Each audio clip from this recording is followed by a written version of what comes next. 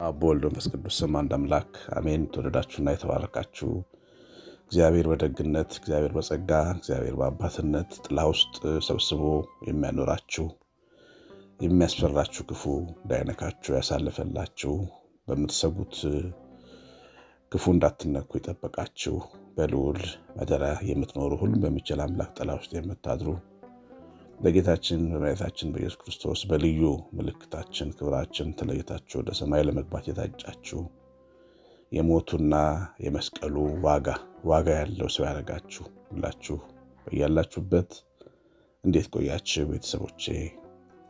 እግዚአብሔር ሰላም ለሀገራችንና ለሁላችን ለምድራችን ሁሉ ይሁን። እግዚአብሔር ሰላም ሀገራችንን ለሚመሩ ፖለቲከኞች፣ እግዚአብሔር ሰላም ምድራችንን ለሚመሩ ፖለቲከኞች ሁሉ ይሁን። ጠላት በእነሱ ልብ እያደረ ዓለምንና ሕዝብን እንዳያናውጥ ክፉ መንፈስን በእነሱ ውስጥ እንዳይሰራ በጌታችን በቤታችን በኢየሱስ ክርስቶስ ስም ልባችሁ የተጠበቀ ይሁን። ለእኛና ለልጆቻችን የሰላም ምድር ይሁንልን። እናንተንም እግዚአብሔር ይባርክ። ቤተሰቦቼ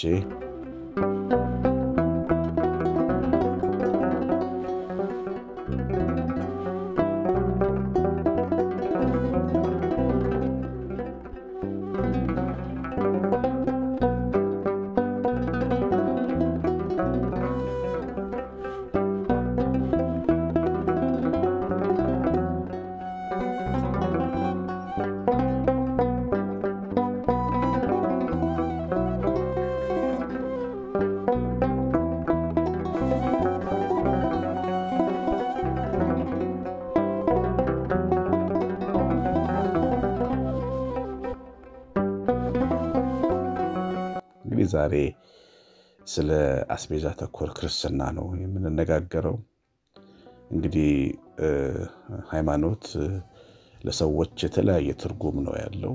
በክርስቶስ የሚኖሩ ወይም ክርስቲያኖች የሆኑ ሰዎች ከአብ ከወልድ ከመንፈስ ቅዱስ ልጅነትን ሀብተ መንፈስ ቅዱስን የተቀበሉ ሰዎች ከእግዚአብሔር ጋር ያላቸው ግንኙነት ሁሉም አንድ አይነት አይደለም እና በክርስቶስ በኩል የተቀበሉትን ስልጣንና ልጅነት የሚጠቀሙበትን አጠቃቀም ነው ዛሬ የምናየው። ሁላችንም እግዚአብሔር ልጆች ነን፣ ግን እግዚአብሔርን ለምንድን ነው የምንፈልገው? ክርስቶስን ለምንድን ነው የምንፈልገው?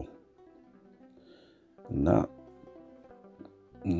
አስቤዛ ተኮር ክርስትና ያላቸው ሰዎች ብዙ ጊዜ እግዚአብሔርን ከእንጀራ ከኑሮ መሙላት ከሕይወት መሳካት ጋር ብቻ አገናኝተው ክርስቶስ የሚጠቅማቸው ለዚህ እንደሆነ ስለሚያስቡ የመስቀሉን ምስጢር ይዘነጋሉ።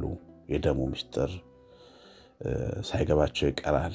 አንድ ክርስቲያን ክርስቲያን ከሆነ በኋላ በክርስቶስ አምኖ በስሙ ከተጠመቀ በኋላ ቤተሰብ ከሆነ በኋላ የእግዚአብሔር ልጅ ስለሆነ ልጅነቱ ሊያሳስበው የልጅነቱን ምስጢር የልጅነቱን ዋጋ መጠየቅ ምንድን ነው የኔ ዋጋ ማለት አለበት። ምንድን ነው የኔ ዋጋ? በአባቴ ቤት ያለኝ ድርሻ ምንድን ነው ማለት አለበት። መጽሐፍ ቅዱስ ደግሞ ሲከፍት በአባቱ ቤት ወራሽ እንደሆነ የአባቱ የእግዚአብሔር ወራሽ እንደሆነ በገላትያ ምዕራፍ አራት አራት ላይ ሰባት ላይ ይነግረዋል። ወራሽ መሆኑን ያስረዳዋል። እግዚአብሔር ወራሽ ነህ። ትልቁን አምላክ ትወርሳለህ። ሰማይ የሚሰራ ጌታ ትወርሳለህ። መሬት አይደለም የምትወርሰው፣ ተራራ አይደለም የምትወርሰው፣ በጣም የሚያምር ቤት አይደለም የሚሰጥህ፣ ትወርሰዋለህ አባትህን ነው የሚለን የእግዚአብሔር ቃል። በሕይወት ሕግ ውስጥም አንድ ልጅ ሲወለድ የሚወለደው እግዚአብሔር ጸጋ ነው፣ መርጦ አይደለም። ቤተሰብ ውስጥ የሚከሰተው በእግዚአብሔር ስጦታና ፈቃድ ነው። ስለዚህ ጸጋ ነው የሚወልደው። ሲወለድም አያውቅም፣ ሳያውቅ ነው የሚወለደው።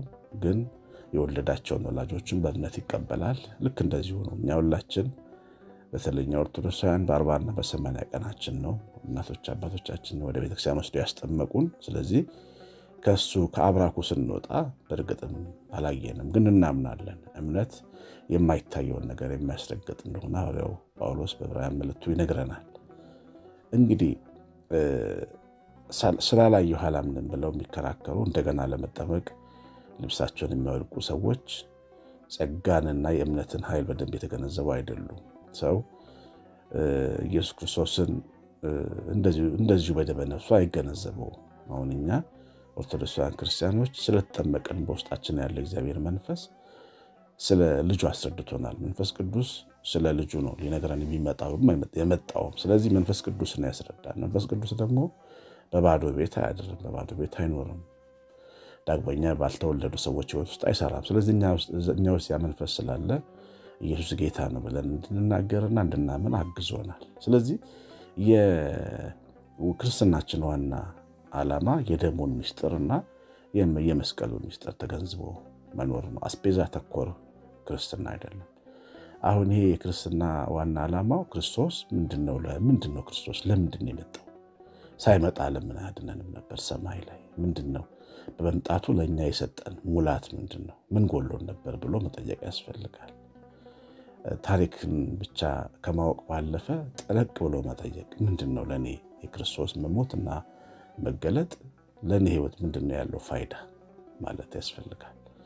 ሰው በምድር ላይ እንደ ሰው መንገድ የጠፋበት አስተማሪ ያጣ መሪ ያጣ ፍጥረት የለም። ክርስቶስ ለዚያ ነው የመጣ ወደ ምድር መንገድ ለመሆን መንገድ ለመስጠት መሪ ለመሆን የተሻለ መሪ ሆኖ ከፊት ለፊት እየቀደመ እግር እያጠበ ለሰው እየራራ መስቀል ተሸክሞ ለሰው ምትክ ሆኖ እየሞተ ፍቅር ምን እንደሆነ ያስተማረን አስተማሪ ተግባራዊ መምህር ተግባራዊ መሪ ሆኖ ነው የመጣው። መሪ ከፊት እየቀደመ አይደል ከኋላ ህዝብን የሚያስከትለውና የሚወደኝ ቢኖር መስቀሉን ይዞ ከኋላ ይከተለኝ በማለት ከፊት እየቀደመ የተሻለ ግባችንን የሚያሳምር መንገድ ያሳየን መሪ ነው ለመሆን ነው የመጣው። መስቀል ላይ የተሰቀለው ደግሞ ፍርድን ለመፈጸም ነው። ራሱ የፈረደውን የጽድቅ ፍርዱ ሞት ለኃጢአተኞች ይገባል የሚለውን በመካስ እሱ ሞቶ በቃ እኔ ሞቻለሁ፣ ሞት በዚህ በኩል ተክሷልና ልጆቼ እንዳይሞቱ ብሎ ነው መስቀል ላይ የወጣው። ስለዚህ እኛ ዘላለማዊ ሕይወት እንዲኖረን እግዚአብሔር የሚባለውን አባት እንድንወርስ ነው የተፈጠር ነው። ቅድም ወደ አነሳሁት ሀሳብ እመለሳለሁ። በቤተሰብ ሕግ አባት የልጅ ውርስ ነው። እናትም እንደዚሁ። እናቴ የኔ ናት፣ አባቴ የኔ ነው፣ አባቴ ነው። አባት የሚለው ቃል የአባት ነጠላ ስም ሲሆን አባቴ የሚል ደግሞ የራስ የማድረግ የመውረስ ምልክት ነው። አባቴ ነው፣ አባዬ ነው፣ ባባዬ ነው፣ እናቴ ናት፣ እማዬ ናት ማሚ ናት የኔ ናት የሚለው ስሜት እናትን የመውረስ አባትን በመንፈስ የመውረስ ምልክት ነው። አሁን አባት ነው እናት ነው ከሚለው እናት ናት ከሚለው ባለፈ አባቴ ነው እናቴ ናት የሚለው የራስ የማድረግና ያንን የወለደን አባት የመውረሳችን ማሳያ ነው። እግዚአብሔርንም ልክ በዚህ ልክ ልኖር ሰው ነው ልጆች አድርጎ በክርስቶስ መሞት ምክንያት የፈጠረን የሰራን ስለዚህ እግዚአብሔር የኔ ነው፣ እግዚአብሔሬ ነው፣ አባቴ ነው፣ ክርስቶሴ ነው፣ መድኃኒቴ ነው ማለት የራስ ማድረግ መውረስ ማለት እሱ ነው እና በክርስቶስ የእግዚአብሔር ወራሾች ናችሁ ሲል እግዚአብሔር የኔ ባዮች ናችሁ ነው። ብዙ ሰው እግዚአብሔር የኛ የሚለው ሀሳብ ላይ ነው ያለው። እግዚአብሔርን የወል ማድረግና እግዚአብሔርን የራስ ማድረግ ስሜቱ በጣም የተለያየ ነው። እግዚአብሔርን የራስ የወል ስታደርጉት ትንሽ ስሜቱ ቀዝቀዝ ያለ ነው። የኔ ነው ስትሉት ግን ሁሌ የራሳችሁ በሆነው ነገር ልክ ነው የምታዩት እግዚአብሔር። ለምሳሌ በሀገራችን በምንኖርበት ከተማ የኛ የምንለው ሀብት አለ። መሬት፣ አስፋልቱ፣ መንገዱ የኛ ነው። ከተማው የኛ ነው። ሱፐርማርኬቱ የኛ ነው። ወንዟ ወንዙ፣ ተራራው የኛ ነው። ግን ቤታችን የምንቋጥረው ደግሞ የምናስቀምጠው ብንደብቀው ደግሞ በመዝገባችን ወርቅ ይኖረናል። በጣም ውድ ገንዘብ ይኖረናል። የራሳችን ውድ ልብስ ይኖረናል። ሽቶ ይኖረናል። የራሳችን የኔ የምንለው ደግሞ አለ። አስቡት፣ አስፋልቱንና ውድ ሽቷችንን እኩል አይደለም የምናየው። የኔ የምንለውና የኛ የምንለውን ማለት ነው። ተራራዎቹንና የክት ልብስን እኩል አታይም። የምትጠነቀቀው ብዙ ጊዜ የኔ ለምትለው ነገር ነው። አንደኛ ሰው ለእኔ የኔ ለሚለው ነገር ይጠነቀቃል። ለምን? የኔ የሚለውን ስለወረሰው ነው፣ የራሱ ስላረገው ነው። ስለዚህ እግዚአብሔር የኛ ብለው የሚያምኑ ሰዎች አሉ። እግዚአብሔር የኔ የሚለዋል። እግዚአብሔር የኔ የሚሉ ሰዎች እግዚአብሔርን ለመውደድ ሰፊ በር ይከፍታሉ። የኔ ጌታ፣ የኔ አባት፣ የኔ አምላክ እንደ አንዲት አንዲት በጣም የመወዳት ቤተሰብ ያለችና ጌታ ጌታዋን የኔ ቆንጆ ብላን የምትጸልየውና የኔ የራሴ ማድረግ ሁልጊዜ ፍቅራቸውን ሰዎች ለሰው ሲገልጡ የራሳቸው የሆነ ቋንቋ አላቸው። አንዳንዶች የኔ ቆንጆ ይላሉ፣ አንዳንዶች የኔ ጌታ ይላሉ፣ አንዳንዶች የኔ ሁሉም የራሳቸው የራስ የማድረግን ስሜት ለመግለጽ የመወረስን ስሜት ልባቸው በፍቅር ያንን የሚጠሩትን እንደወረሰ ለማሳየት የሚጠቀሙበት ቋንቋ እንዳለ ሁሉ እግዚአብሔርም የዚህ ድርሻ ተካፋይ መሆን አለበት በሕይወታችን እና አንዳንድ ሰዎች በጣም ነው የሚገርሙን። እግዚአብሔርን በጣም በአንቱታ እንድንጠራ የሚያስተምሩ አሉ። ማለት እግዚአብሔርን በጣም ከፍ አድርገን ማሰብና ማክበር እንዳለ ሆኖ ግን የኔ ብሎ ከመውደድ ግን ነው ሰው እግዚአብሔርን ማክበር ያለበት እና የእግዚአብሔር ወራሽ ናቸው ሲለን የኔ ነው መስቀሉ የኔ ነው፣ ደግሞ የኔ ነው። ወደ መስቀል የተጓዘበት መንገድ የኔ ነው ማለት ነው። ደረትን እየደቁ የኔ ነው፣ ይሄ የኔ ታሪክ ነው፣ ይሄ የኔ ዕዳ ነው ማለት ነው። ጌታ ተሰቀለ ሲባል አይሁዶች ሰቀሉት የሚለውን ሀሳብ የሚያነሱ ብዙ ጊዜ ታሪክ ስለሚመስላቸው የጌታ መስቀል የኔ ነው ክርስቶስ ብሎ የሚያስብ ሰው ግን እኔ የሰቀልኩት ነው ማለት አለበት። ኃጢአት የሰቀለው ዕዳዬ ፍርዴ የሰቀለው እኔ ሞት ነበረብኝ እኔ ሊተካ ሄደ ወደ መስቀል እያለ ሰው ክርስቶስን ሊወርስ ነው እና የሃይማኖታችን ዋና ሀሳብ እግዚአብሔርን ክርስቶስን የራስ አድርጎ የኔ ነው ብሎ በማመን ልቡን እሱ ላይ ማንጠልጠል ነው የእምነት ዋና ዓላማ እና እግዚአብሔርን እንደ እውቀት ብቻ አውቆ ዝም ብሎ በዙሪያው መሽከርከር አይደለም። ወይም እንደ ግብፅ እንደ እስራኤል ልጆች ደግሞ አስቤዛ ተኮር አምልኮ እንዲኖረን አይደለም። አሁን ወደ ተነሳውበት ሀሳብ ሲሄድ እግዚአብሔርን የኔ የሚል ሰው እግዚአብሔርን የወረሰ ሰው በፍቅርና በተግባቦት የክርስቶስ ባህሪ በሱ ስለሚኖር የክርስቶስ ሀሳቡ ስለሚገባው ወንድምን ይወዳል።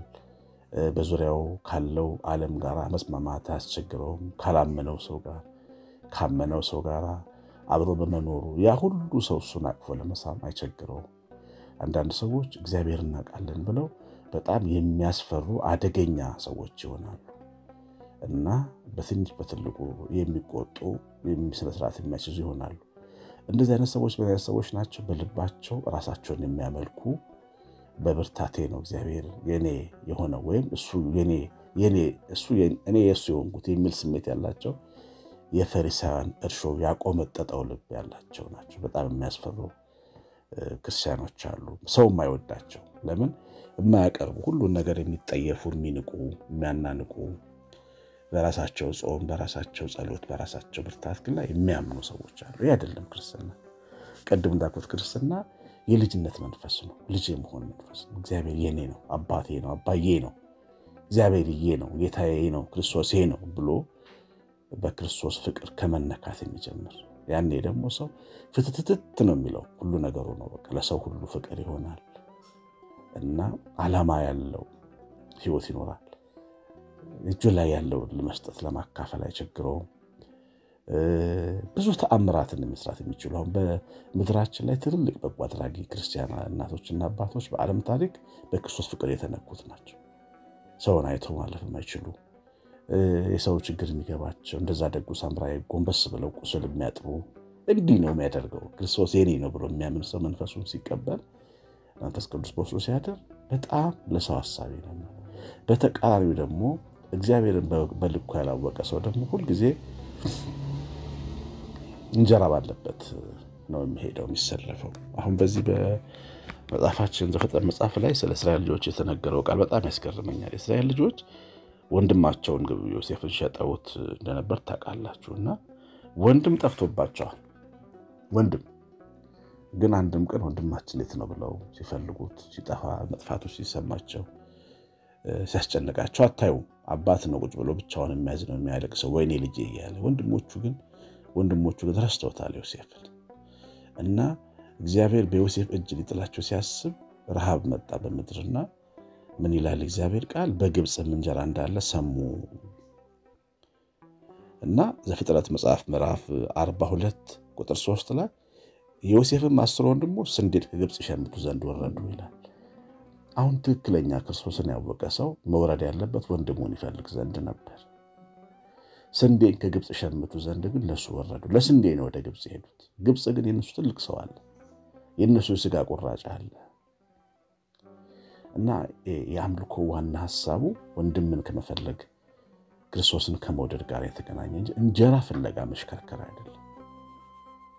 እንጀራ ተኮራ ክርስትና አይደለም። ያምልኮ በጌታ ዘመን የነበሩ አምስት ሺህ ሰዎች እንጀራ ከበሉ በኋላ እንደ ወንዝ ዳር ይሄ ጥብርያዶስ ወንዝ ጌንስሬጥ ባህር አጠገብ ዝም ብለው ይሽከረከሩ ነበር። ጌታ እስኪመጣ ድረስ ስንጠብቀው ዋልን እኮ አሉት።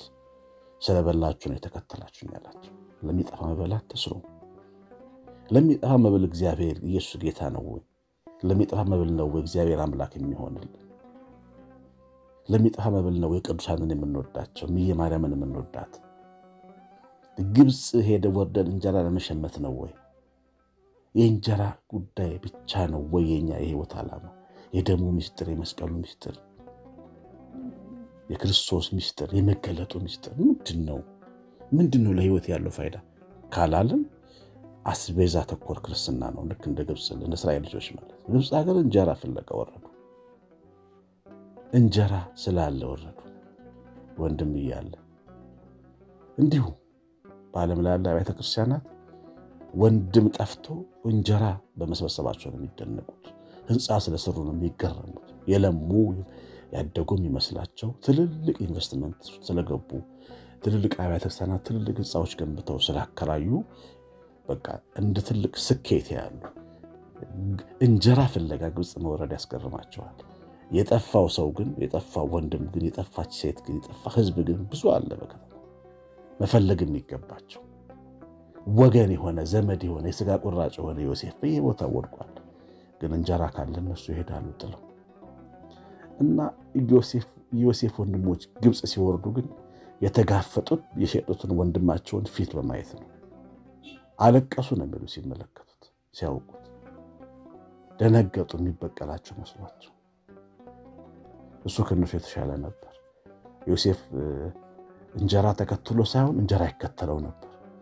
ትክክለኛ እግዚአብሔር ሰው ነበር። በመንፈሱ እግዚአብሔርን ያከበረ በጴጥፋራ ቤት እግዚአብሔር ፊት ኃጢአት አልሰራም ብሎ የጴጥፋራን ግብዣ ሚስት ግብዣ ንቆ ይወጣን እግዚአብሔርን በዚህ በማክበሩ የተመሰከረለት መንፈሳዊ ወንድም ስለነበር አልተበቀላቸው። እንጀራም እግሩ ስር ነበር። ከእግሩ ስር ነው እንጀራ የዛቁት። በአይበታቸውና በጽዋቸው ወይን የሞላላቸው ወንድማቸው የሸጡት ወንድማቸው ነው። እግዚአብሔር አስገራሚ እኮ ነው። እነሱ እንጀራ ሊለምኑ ሲሄዱ የረሱትን ወንድም አስቀምጦ ጠበቃቸው።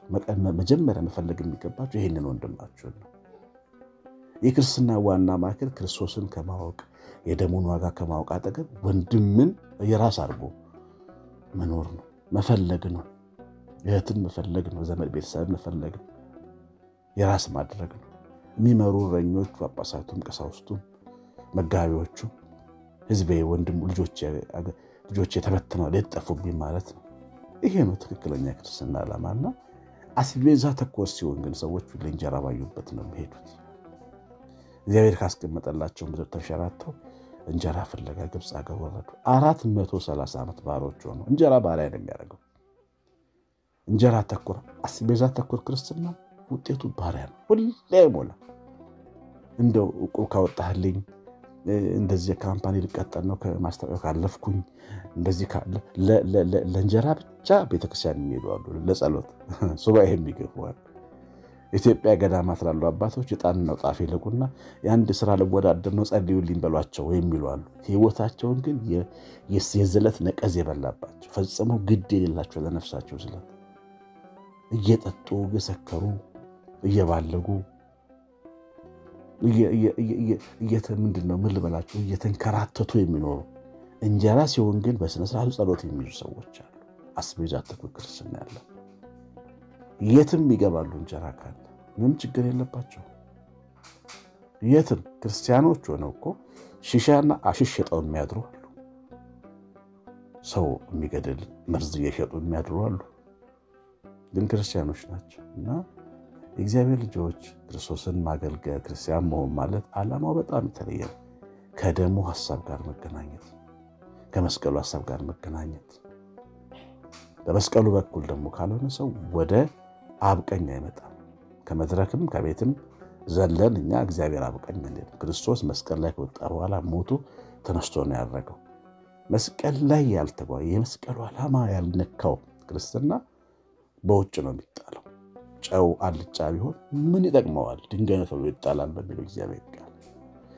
ስለዚህ ክርስትናችን አስቤዛ መር እንዳይሆን እግዚአብሔር በመንገዳችን የሚመርቅልን ትንሽ ነገር ዋና አድርገን እንዳንይዘው አስቀድማችሁ ጽድቁና መንግስቱን ፈልጉ ሌላው ይጨመርላችኋል ብሎ ጌታ በታመነ ቃሉ ነግሮናል። ስለዚህ ወደ ውስጣችን ጉድለት ነው ማየት። ምንድን ነው የኔ ህይወት ጉድለት? አመል የሌለን ሰዎች፣ መስማማት ያቀተን ሰዎች ስለዚህ አመላችን ሱባኤ ገብተን አናውቅም። የዝሙት መንፈስ ያለብን ሰዎች ስለዚህ ጉዳይ ሱባኤ ገብተን አናውቅም። ነገር ግን ስለ አንድ ስራ መቀጠር ግን ትልቅ ትልቅ ጸሎት እንይዛለን። የክፉ ንግግር ምላሳችን ላይ የሚወጣ የሚወረወር ቃል ስንቱን ወዳጆቻችንን ስንቱን ፍቅረኛ ካጠገባችን አሽሿል። ጨንቆን አያውቅም። ግን የሆነ ስራ ሲበላሽ አንዷ ማዳም ስታባረረን ጸሎታችን የተጋ አስቤዛ መር ክርስትና ህይወታችን ላይ ያለው ትልልቁን ነገር እየረሳ ማለት ነው። መታመን ያቃተን ሰዎች፣ መክዳት ገንዘባችን የሆነ ሰዎች ይህን ክፉ አመላችንን እግዚአብሔር ከላያችን እንዳያንከባል መንፈስ ቅዱስ ጸልየን አናውቅም። አስበን ማናቅ ችግር ነው ብለን ከስንቱ ጋር ያላትመናል። ግን እንጀራ ስራ ሲጠፋ ግን በጣም እንጸልያለን፣ ሻማ እናበራለን፣ ስለት እንሳላለን። አስቤዛ መር ክርስትና ነው ወይ? ከዚህ ሀሳብ መውጣት ዋና እኛነታችንን ከሞተልን ክርስቶስ ሀሳብ ጋር ማገናኘት ነው ትልቁ ነገር። ሌላው ይከተለናል። እግዚአብሔር ያሳያችሁ። እነሱ ወንድማቸው ሸጠው እንጀራ ልመና ግብፅ ሄዱ። የተሸጠ ወንድማቸው ግን እንጀራ ይሰፍር ነበር።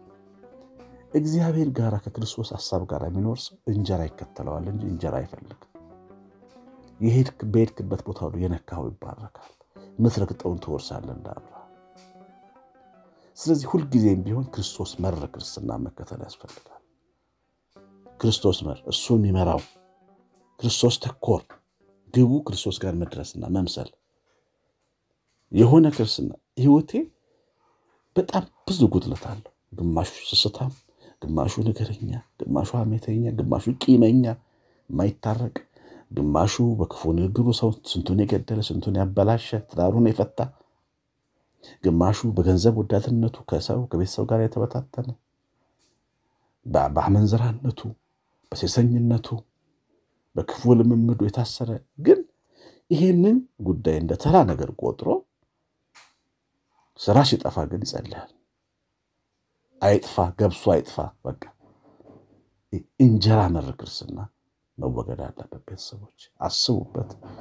መንፈስ ቅዱስ ያስተማረን ክብር ይግባው፣ ጸጋው የደግፈን። ቤተሰቦቼ ቸርነቱ ከሁላችን ጋር አይሆን። የእናታችን የእመቤታችን የቅድስተ ቅዱሳን የድንግል ማርያም በረከት የመላኩ የቅዱስ ሚካኤል በረከት በሁላችን ላይ ይሁን።